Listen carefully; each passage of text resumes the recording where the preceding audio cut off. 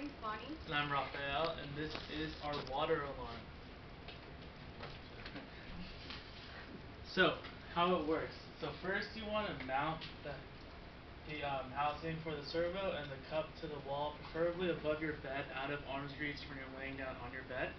And then you could go onto the Arduino terminal on your computer and set whatever time you want, it'll go off at whatever time you set. Um so then basically the alarm will go off, the sound will play, and you have until the loop ends of the alarm to uh flip the switch or else the servo will dump a cup of water up on you, onto your bed, waking you up. So that's our Okay, so um these are the components we used. First of all we used the servo to uh drop the cup of water to move it down.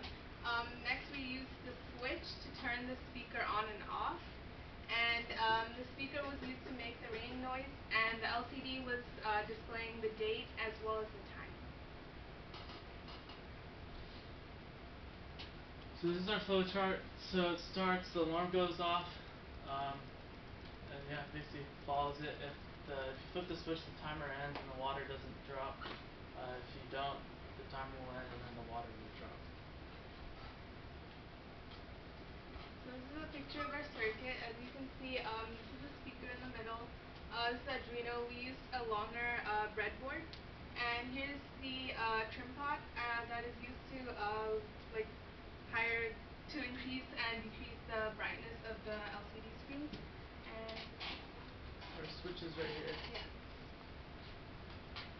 This is a video of the cup dropping water.